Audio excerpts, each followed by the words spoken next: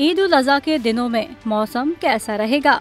महकमा मौसमियात ने अहम पेशगोई कर दी। महकमा मौसमियात ने ईद उल अजहा के दिनों में मौसम खुश्क और गर्म रहने की पेशगोई की है, चीफ मेट्रोलॉजिस्ट सरदार सरफराज ने। इंटरव्यू में कहा कि मुल्क भर में दिन और रात के दर्जे हरारत में कोई तब्दीली न होने का इम्कान है। आइंदा हफ़्ता साल का गर्म तरीन हफ़्ता होगा। उन्होंने कहा कि शदीद गर्मी की लहर मुल्क के मुख्तलिफ़ हिस्सों को अपनी लपेट में ले रही है, जबकि कुछ इलाकों में पारा 50 डिग्री को छू चुका है।